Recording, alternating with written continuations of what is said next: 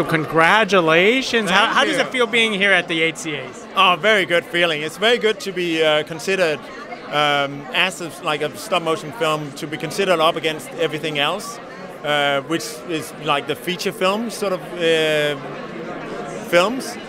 Um, and I think I would tout like Guillermo del Toro's like uh, like push for like animation being you know considered as film. We do like as, as in a stop motion film, we do exactly the same as you would do in a live action. So that goes with camera work as well. Frank Passingham did a fantastic work on camera, which which I think should be recognized as camera work on the same level as a live action film should be recognized. Uh, the VFX work is the same as you would do on a on a live action film because you got the sets, the actors, the lighting, the real light, and and the extension and stuff you do for our film is exactly the same as you would do for an Avatar or a Top Gun film. Now, as an animation supervisor on Pinocchio for yourself, when did you when did you know when you were working on this project that you had something special?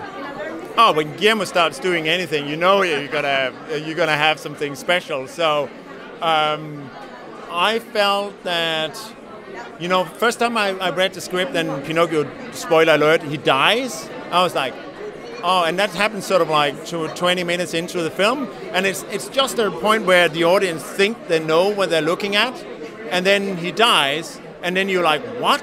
And then he enters into this like special realm of of, of death. Uh, and then it, it's nice to confuse the audience like a bit and, and, and wake them up and go like, oh, I thought I knew I was watching, but now I don't. So that's that was very exciting. So I think that's was the point when I thought, oh no, this is going to be great. Now, as an audience member, I think Pinocchio and stop motion animation is beautiful. Yeah. But but before I let you go, I want to know is when you work on these projects, where do you find the patience to do all this animation?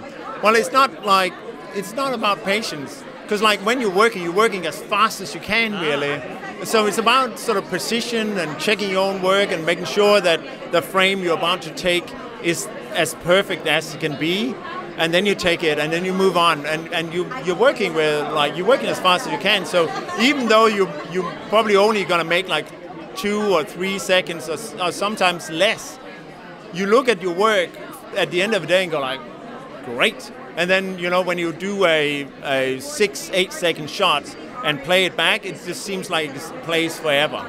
You know, it's quite a funny sort of time kind of funny time thing that happens with a eight second shot that feels like it's going on forever. Wow. And, and uh, just to say that I didn't, I did so little animation on this film. I was sort of like the cheerleader and uh, and Mark and Guillermo's right hand man, and sort of helping with technical stuff. Uh, there was a crew of. Um, we had 60 animators in total, which sounds like uh, small if you're comparing us to computer animation, but on a stop motion film, that is a lot. And we had 40, about 40 animators working at one time on about 60 different stages. So it's a, it's a busy day for Mark and Guillermo because like there's there's like like direction and, and finish shots and briefings happening all day long, all the time. Well, you've done a magical job, so congratulations. Thank Thanks you. for speaking to us. Thank you. Thank you. Pleasure. It's been a pleasure.